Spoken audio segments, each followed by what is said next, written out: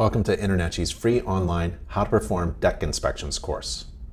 This course teaches the inspector how to perform residential wood deck inspections according to the InterNACHI Home Inspection Standards of Practice, and it includes a review of some common deck defects.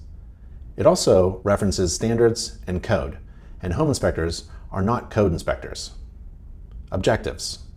Upon successful completion of the course, you should be able to list and describe the major components of a deck, distinguish between proper and improper installation techniques, identify and describe common major structural and safety problems, and communicate to a client indications of defects observed at the deck during a home inspection.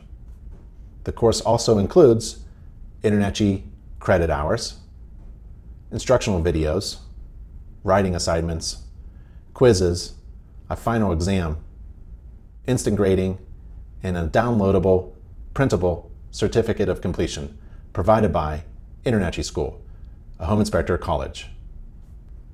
If you wanted to become certified as a deck inspector, we have that available as well. There are three steps. Join InterNACHI as a member, complete the inspector certification requirements, and complete this course, How to Perform Deck Inspections and then you have access to the certification logo. So welcome again to the free online How to Perform Deck Inspections course.